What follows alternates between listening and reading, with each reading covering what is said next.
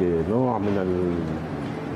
مش بس الدمج نوع من التوحد بين الموقف السياسي الرسمي للبنان وبين موقف المقاومه لا يمكن لأنه الإسرائيليين بمرحلة وقف وقف إطلاق النار من جانب واحد سوف يراهنوا على ما يمكن أن يعكسه هذا القرار من سلبيات داخل الجبهة اللبنانية الداخلية.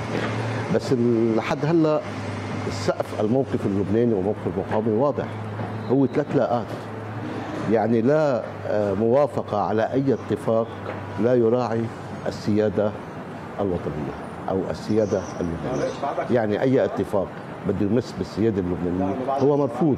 يعني من كل الأطراف اللبنانية وليس من طرف واحد دون آخر.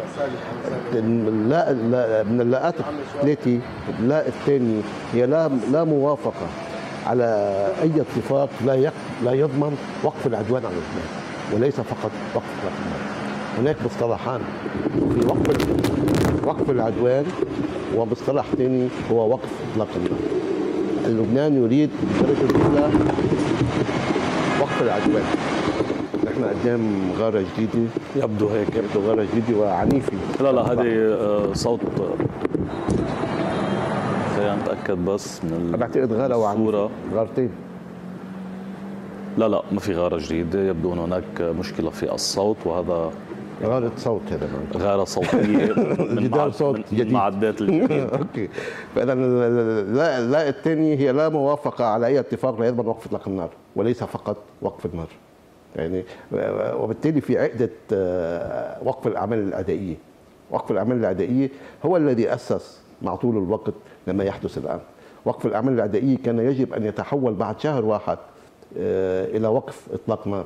كان يجب على مجلس الأمن أن يعقد اجتماعا ويحوله إلى وقف إطلاق النار.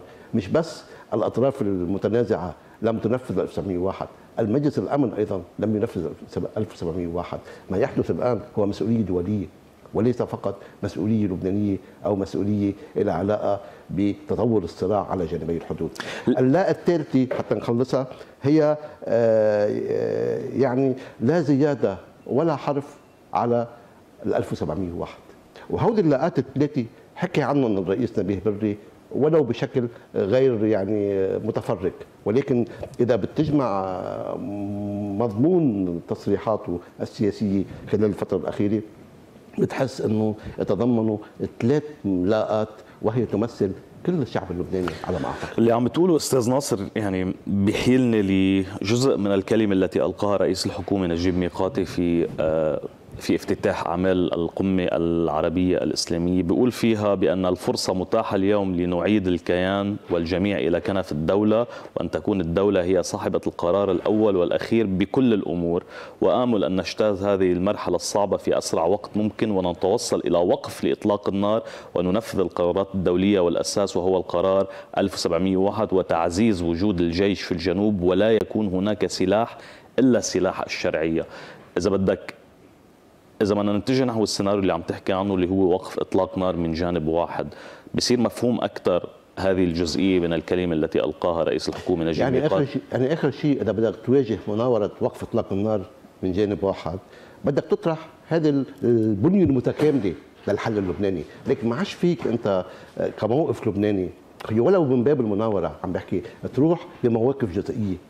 آخر شيء الإسرائيلي يريد اقتناص أي أي بنية جزئية بيشوفها بخطابك حتى يسوق داخل المجتمع الدولي إنك أنت غير جاهز للتفاوض.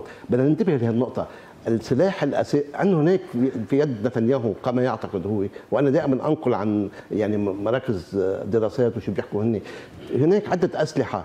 أول سلاح منهم أن لبنان غير جاهز للتفاوض قانونيا وبالتالي انتخاب رئيس الجمهورية قد يكون مفيد ضمن هذا الإيجابي على التحدي الذي يطرحه نتنياهو. ثاني شغلي أنه لبنان لا يملك آه خط رؤية متكاملة.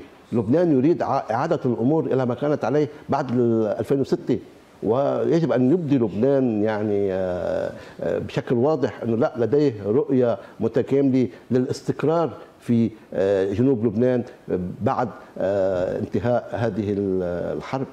فهودي آخر شيء ما عاد في إمكانية للبنان إنه يتجاوزهم وبالتالي كمان السلاح الوحيد والقوي لدى لبنان هو الجيش اللبناني. يعني نحن شو عندنا بإيدنا حتى ننفذ 1901 من أوراق قوة؟ عندنا شغلة واحدة بس هو آه، الجيش اللبناني.